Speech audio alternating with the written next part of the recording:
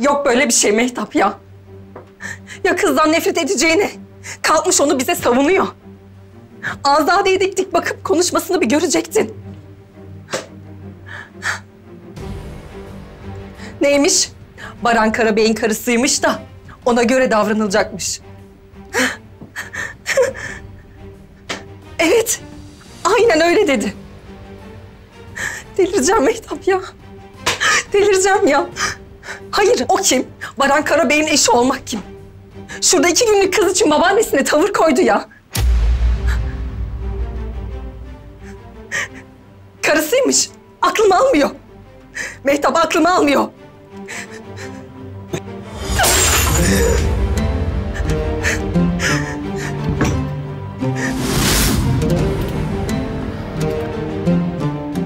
Arayacağım ben seni canım sonra.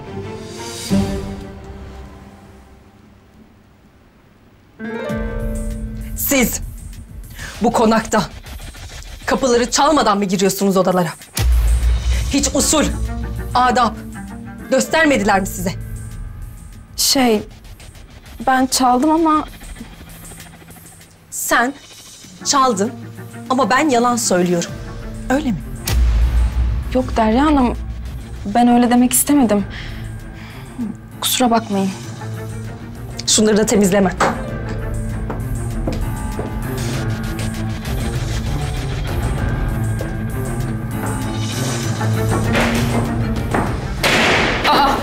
Cihan? Ne oldu? Bir şey yok abla.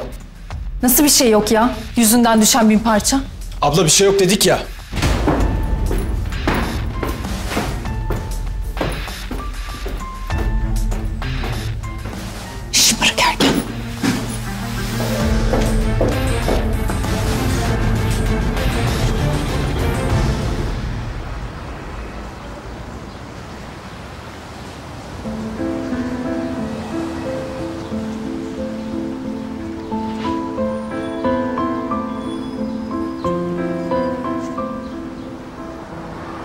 Ali lütfen izin ver açıklayayım.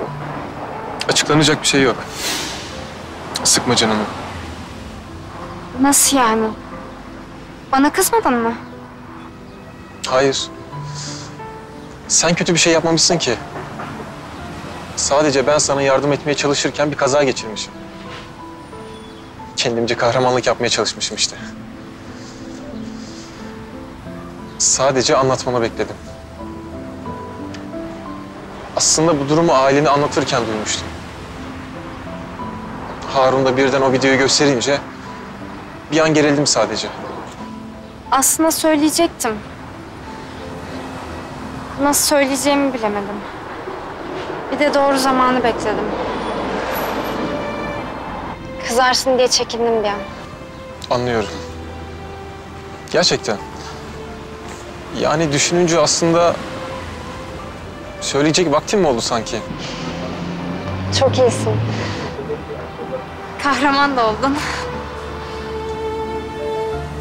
Ama ben çok mahcubum. Bana yardım etmek isterken bütün hayatın alt üst oldu. Bu borç nasıl ödenir ki? Yaptıklarına baksana. Başkası bu kadar riski alır mıydı? Hiç tanımadığı birisi için. Hafızana, hayatına dair anılarına karşılık birkaç kuru iyilik. Tamam mı sence? Bir gülümseme bile yeterlidir bazen. Hem düşünsene, kazayı geçirmemiş olsaydım. Belki hiç tanışamayacaktık bile.